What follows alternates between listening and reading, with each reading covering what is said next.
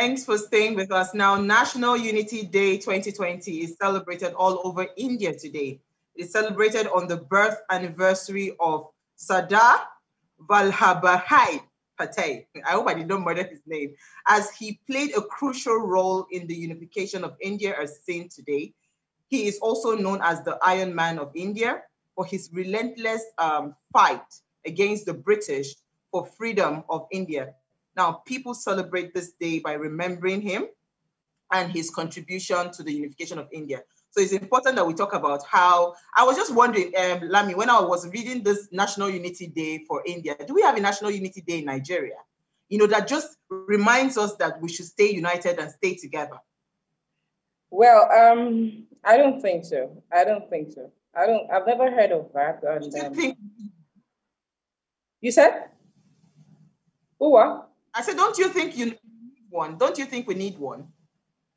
Well, I think that would be window dressing if we just start, if we just decide to have a national unity day, because there are quite a number of factors that divide us. And I think that needs proper attention before we start looking into national unity day and all that. I think that's just grandstanding as far as I'm concerned. Well, that's it. all right, so uh, let me come to Temi. Temi, what did you find for us in the news today? Okay, so on the foreign scene, I found that the United Kingdom may go into another lockdown as a result of um, COVID cases. Over a million having COVID trouble cases. with Temi's network. Okay, so would you like me go to ahead, go ahead? Lami. Let me take Lami's story then. All right. Okay, this was um, from Femi Gbajabiamila, who is the Speaker of the House of Representatives. I think there was a visit by the young parliamentarian them on maybe solidarity visit. And what struck me with the news was the content of the discussion. It moved. You know, before it would have been a bit um, off, but from what he said, I think that this EndSARS movement is actually gaining ground and we're consolidating it. I think we have done a good job because all what they talked about was centered around the youth, how to make provisions for employment for the youth, and not just employment, wages that can actually afford a good lifestyle. Then the other was how to integrate youth into um, the political scale. No longer are we excluded from it, they are listening. And the third is um, justice, you know, more access to justice. And the fourth one was education for all. So I think that um, the EndSARS movement has done a lot and the conversation has started and we are really we are moving rapidly i can tell you. Absolutely absolutely. I i, I love the part particularly when he said that this federal character stuff should you know as it stands it's not it's not um it's not uh, structured to to bring out the best. Yeah to you understand? Because you, you just have to come for a, from the region. Mm. Okay, so Temi, if you're there, let's take your story.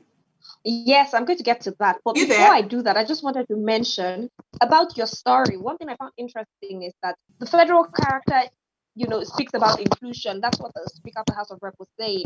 He was mentioning that it includes inclusion of both sexes. It uh, it involves inclusion of young people, people with disability, because federal character, as it stands, is about geopolitical, you know, of about regions about states as it is now. But then there are other deeper issues that we'd like to talk about, including young people, including Absolutely. women, including people with disability. And I like that that he mentioned that. Now moving on to my own story, it's on the foreign scene. And my story is from the United Kingdom.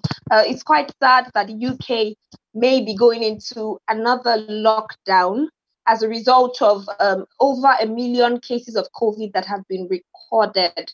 And this is like the second lockdown that the United States may experience. This is following the COVID cases and what researchers have called a really bad case, but we're still set to listen to the Prime Minister of the UK, Boris Johnson, address us on this, or you know, and let us know the way forward. But it's really sad because states like um like for example France and Germany also has gone into another phase of lockdown. For Germany, it's been not as not full lockdown, it's been partial lockdown, but it's still some sort of lockdown to restrict and reduce the spread of COVID virus because the spread has been really bad. And it seems to me, not just for everyone who is sort of forgetting that we're we're we're fighting something here. And we've sort of getting back to everything normal. It seems like life is back to normal. Handshakes, hugs, all of those things, you know, face masks, maybe not we're not enforcing as much as we should be, and we're not reminding ourselves. And, and this is a reminder. This is not supposed to be some um, statement that brings fear, but it's supposed to be a good reminder that some of the practices that we've been, you know, taking on, like wearing our face masks, you know, like you know, using the hand sanitizers, washing our hands, avoiding some physical contact. I think these are very good ideas, and we should continue to put them into practice. Our prayers are with um, everyone who's living in the UK, everyone who's living in every other country that has experienced this increase, you know, and um, and it's been a bad situation. Our prayers are also with our own country, Nigeria. You know, so that's what the news is about. All right, so uh, the network is a bit tricky today, so we're going to just um, make do with what we have. So we'll take a very short break. When we return, we're going to be discussing Nigeria and her unity, and we have Mustafa and Phillips here to, to talk to us. Stay with us. We'll be right back.